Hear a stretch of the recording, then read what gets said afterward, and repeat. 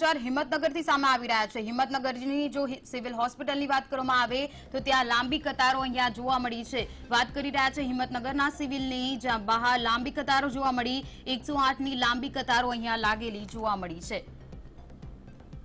સંક્રમણ વધી રહ્યું છે. સારવાર પણ નથી મળી રહી. બેડનો અભાવ છે અને એમ્બ્યુલન્સની અહીંયા લાંબી કતારો. એકસો આઠના કર્મચારીઓ વાનમાં સારવાર આપી રહ્યા અને અહીંયા નજરે પડી રહ્યા છે. બેડના અભાવે એમ્બ્યુલન્સની અહીંયા લાંબી કતારો જોવા મળી છે.